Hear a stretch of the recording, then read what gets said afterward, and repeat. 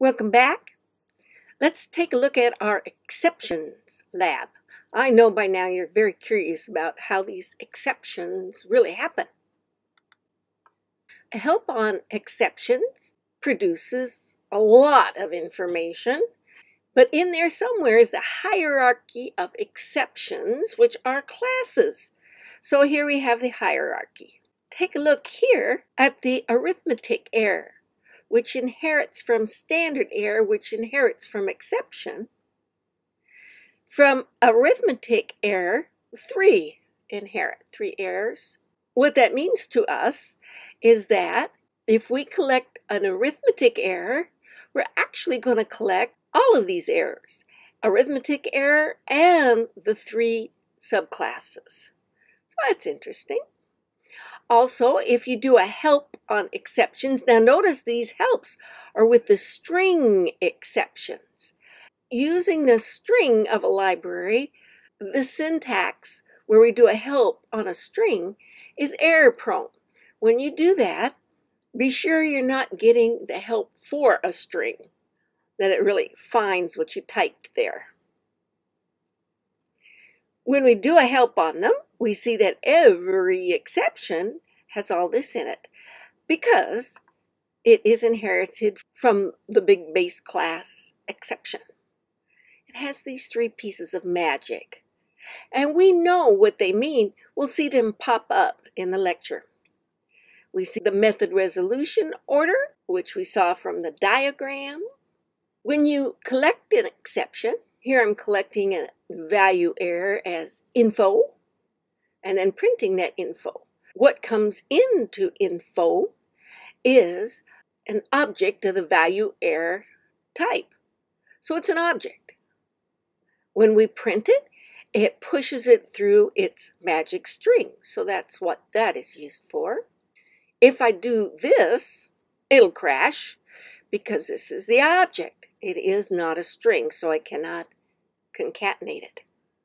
However, I could put it in a formatted string, and it knows how to call its magic string, or the str. All these things call a magic string, so magic string is very useful.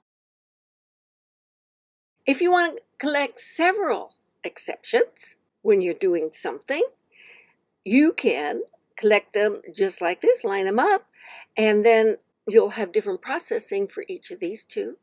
If you want them to both be collected but be processed the same, then you put your exceptions in a tuple. When we started, we didn't collect the exception object. It looked like that, no problem.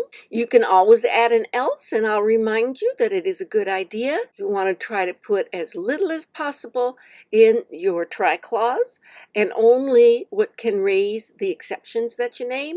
You don't want to put this something else in the try block. It makes for easier debugging, a lot easier. You can add a finally clause. That clause will absolutely happen, whether an error is raised or not. There's another form of finally if you like it better.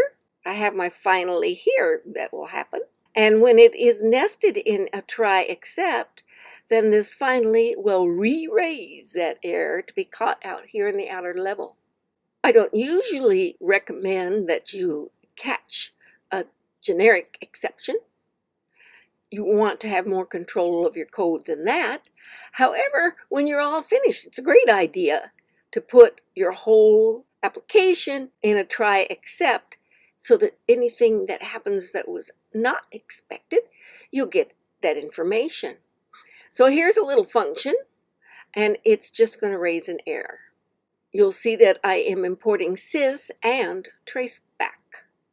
That's because sys has within it some very handy attributes. sys.exc_info is a function, and it uh, passes back two values. The first one is the exception type and also comes the exception value. The type being the class and the value is the exception object. The traceback module gives you various calls. One you might like a lot is format exception. It gives you the string version of the exception. There it is.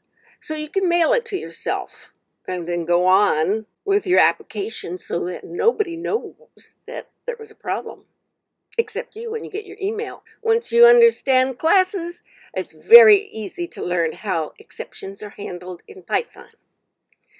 Give the exercise a try. I'll see you when you're ready to look at the solution.